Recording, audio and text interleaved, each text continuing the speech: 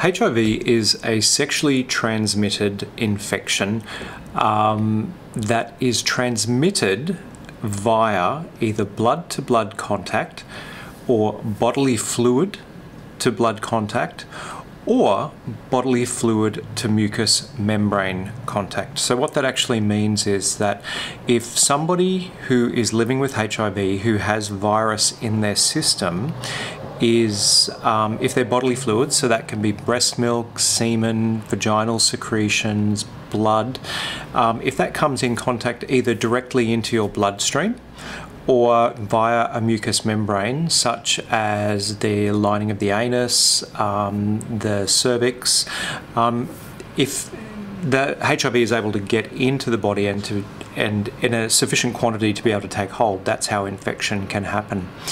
So Understanding that, we can now see how safe sex works. Safe sex works by creating a barrier between bodily fluids and blood or or mucous membranes. For example, using a condom for anal sex means that semen isn't able to get in contact with the mucous membrane of the anus, or that um, that if there are any micro tears in the anus, then the semen's not able to get in through that way.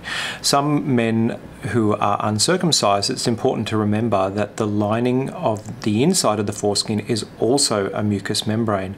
So if you are a top an insertive partner and you are not using a condom, that actually increases the risk of HIV transmission from the bottom to the top.